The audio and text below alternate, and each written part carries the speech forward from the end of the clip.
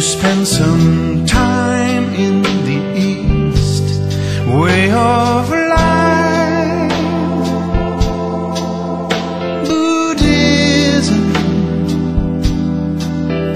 adventures,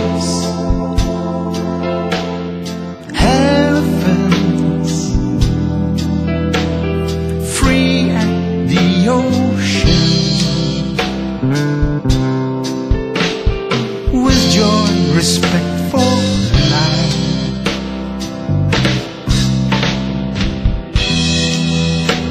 So good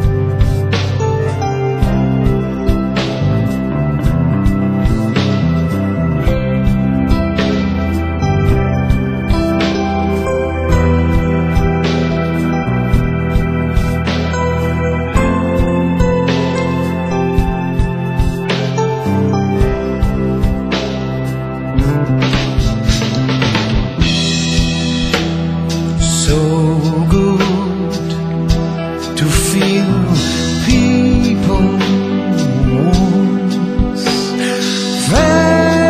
values and nature